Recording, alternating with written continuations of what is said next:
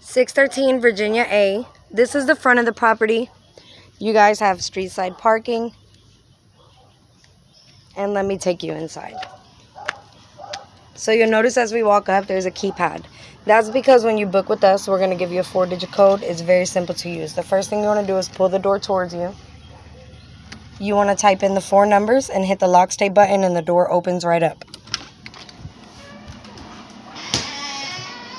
First, we walk into the foyer. Then there's a living room. You guys have your TV on the right-hand side. Here's the first bedroom. The kitchen. There's a little hallway right here. You'll notice there's a breaker box right here on the wall.